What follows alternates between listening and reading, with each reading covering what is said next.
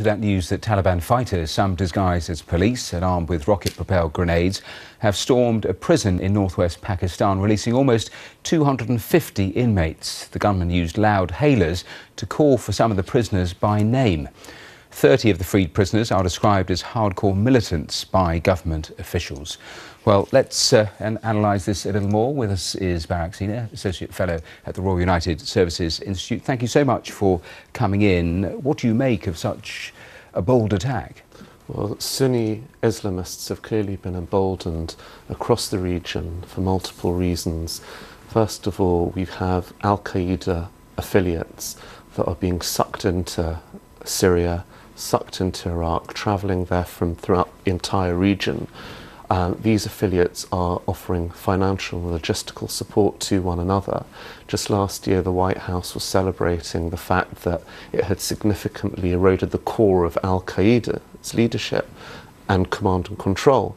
But they were warned at the same time that affiliates would eclipse the core. That's exactly what's taken place now, especially as America has had a hands off approach to the Middle East. It's been following events rather than attempting to create events. And um, there's an organization, the Islamic State of Iraq and the Levant, which is made up of Al Qaeda affiliates, where there is this logistical support being offered, spilling over from Syria into Iraq, reaching all the way up to Pakistan. And when the authorities describe some of these people who've been released as hardcore militants, uh, what are the sorts of things that they would have been involved with, and how worrying is it that they're now freed? Well, they would have been involved in targeting Shias, um, targeting mosques, targeting civilian institutions, and now you're seeing as well Sunni militants that are becoming increasingly brazen, and they're targeting what we would have anticipated to have been heavily fortified installations, such as prisons.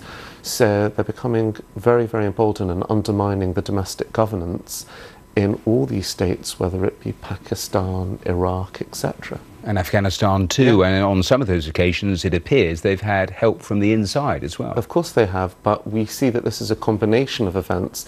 First of all, General Petraeus' widely acclaimed counterinsurgency strategy has been undermined because that would have had to have been facilitated by continuous US involvement in the region, in Syria, when you've had a hands off approach, all the Sunnis that you would have embraced, that you would have got on side, suddenly now they're seeing increased Shia involvement. They're not going to be on the US's side if US takes a step back.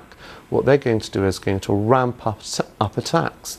So you see America wanting to repivot its, its attention towards Asia.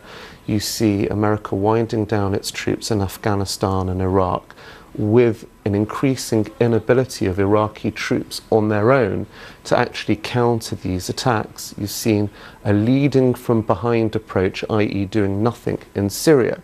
So if I was an Islamist, I would be perceiving America as a paper tiger. It's an interesting phrase, leading from behind. Just as a final thought for the Pakistani authorities, we saw a similar type of prison break, what, a year or so ago. How awkward is it that something has happened virtually exactly the same? So this is a year's, a year year's anniversary.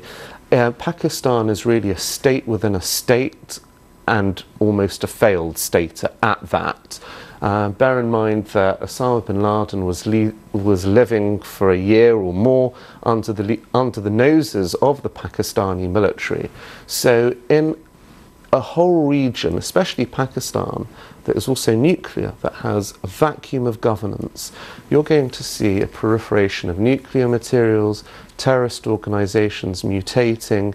It's an infinitely more dangerous region. And bear in mind that that at this moment in time, the obsession of the international community is to focus on the Israeli Palestinian conflict, which is a complete sideshow when you see the Sunni Shia tensions which is raging across the region. All right, there we have to leave it. But, uh, thanks very much for coming in to talk to Thank us. Thank you.